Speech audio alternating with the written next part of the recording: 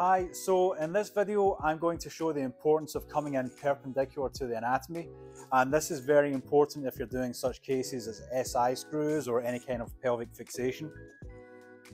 So the goal of this is that when we are truly perpendicular and we go onto our axial imaging such as inlet outlet, we want to make sure that we are maintaining that same plane and we're not crossing over the anatomy. So what I have here is a pair of parallel parallel bars and I have a washer attached to the center of the intensifier.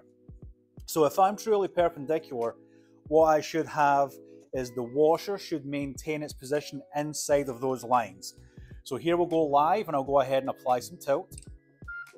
So here you can see we are tilting and the washer is staying in between those bars. And then we're going to go and tilt the other way. Again, the washer maintains its position. So that shows us that we are truly perpendicular. So now I have made a correction to my anatomy where I've turned my parallel bars at an angle.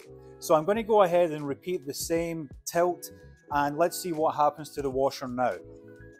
So as I go live and then apply the tilt, we see that the washer starts to migrate towards the lines. And then as we tilt the other direction, Again, we can see that washer now start to migrate towards the other line.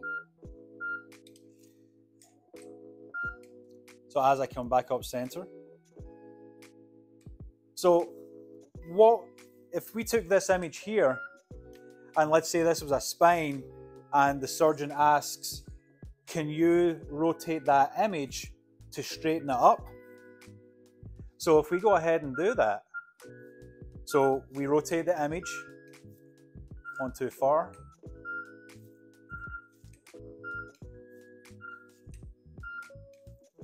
It's an older machine, so I don't get to preview the rotation.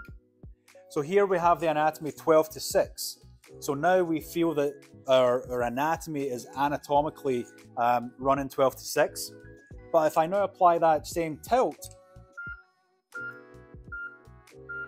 we can see that the washer again migrates. So even though I have made the image look better, I haven't corrected to show a, a true perpendicular image. So if we're coming through for axial imaging or coming through for our lateral, um, it's not it's not going to be correct. So what we have actually done is created a falsehood in the image. So if we come back to our original picture, what the act, what the true correction would be would be obviously we can't move the anatomy because the patient is presumably sterile. So we would actually have to rotate our base. And let's try and get that lined up here.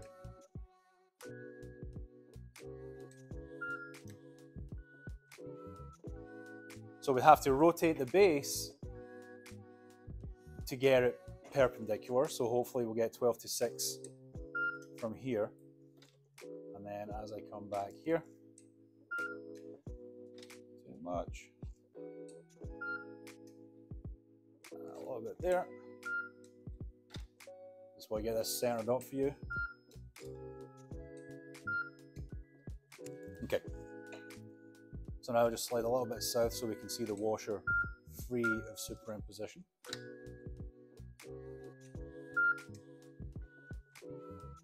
So now hopefully when I apply my tilt, that washer should stay within those lines and not really travel. Going live. And here you can see the washer does indeed stay within those lines.